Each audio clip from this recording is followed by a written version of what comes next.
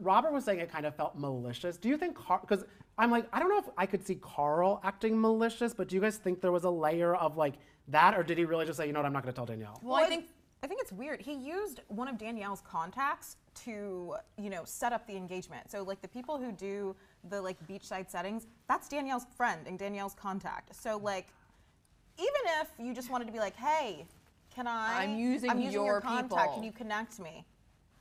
That mm. would That's have the been like part a that's like annoying. Well, the other thing is like you're gonna tell someone, and like no disrespect to Chris, but like you just met Chris. Right. Chris knows this information, and then you're gonna put Danielle into the category of like the girls in the house. Yeah. Like she's not really the, a girl in the house. No. We get it that Which- you don't. She's fuck with us, family, like, Right. yeah. on. Which even calling us the girls is like funny and so low key. Like, okay, you obviously don't with It's us just, like, more either, shade, which thank is you. fine. But it's like so shady, which is fine. But we also can be just shady say it. too. Yeah, I'm shady just as much. So yeah, I kind of could see it coming from Carl. He's kind of like a closeted asshole sometimes. You love to say that. I like She loves to say that. I like that. Okay, and that's it catches me off guard every time. What? the closeted asshole.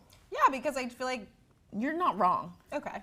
and you missed it. She said it with a hair flip this time. I saw it. No, I saw it. I, I, I know my friend.